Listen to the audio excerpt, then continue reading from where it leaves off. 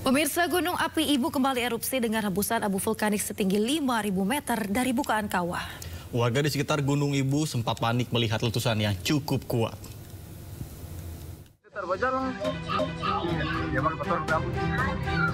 Warga di sejumlah desa sekitar Gunung Api Ibu di Kabupaten Halmahera Barat, Maluku Utara panik dengan suara letusan Gunung Api Ibu.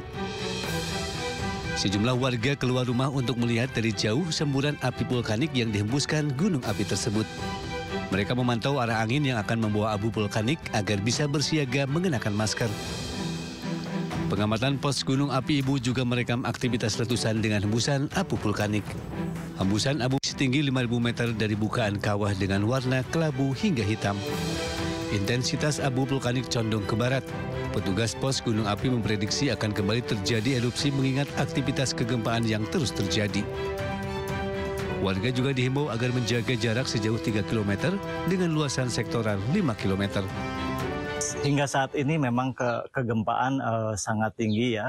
Uh, erupsi ini memang uh, sudah kita khawatirkan karena uh, sudah hampir 30 jam sejak erupsi terakhir itu uh, tidak ada kegiatan erupsi kembali sehingga uh, memang uh, erupsi saat ini uh, tekanan uh, apa tekanan erupsinya cukup tinggi gitu. Meski belum terdampak abu vulkanik, warga diminta untuk tetap tenang dan selalu waspada dengan memakai masker.